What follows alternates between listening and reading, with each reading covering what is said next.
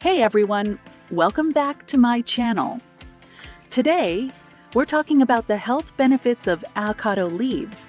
Avocado leaves have been used for centuries in traditional medicine, and they're packed with nutrients that can benefit your overall health. Benefits of avocado leaves Antioxidants.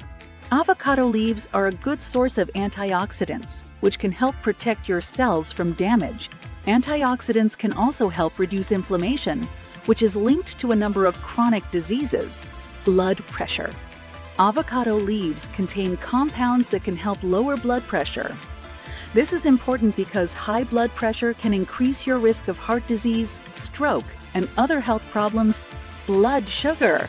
Avocado leaves may also help improve blood sugar control. This is important for people with diabetes or prediabetes. Immunity.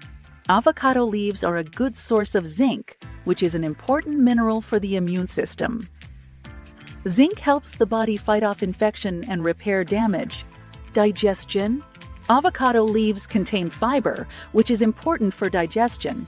Fiber helps keep your digestive system healthy and can help prevent constipation. Weight loss. Avocado leaves may also help with weight loss. They contain compounds that can help boost your metabolism and reduce your appetite.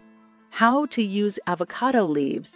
You can make a tea from avocado leaves or add them to smoothies or other recipes. To make tea, simply steep 2 to 3 leaves in hot water for 5 to 10 minutes. You can drink 1 to 2 cups of tea per day. Side effects Avocado leaves are generally safe for most people.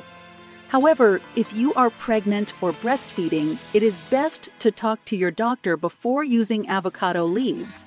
Avocado leaves are a healthy and versatile food that can be enjoyed in a variety of ways.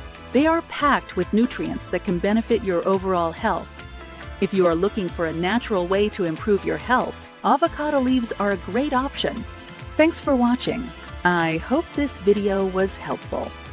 If you have any questions, please leave them in the comments below. And be sure to subscribe to my channel for more health and wellness tips.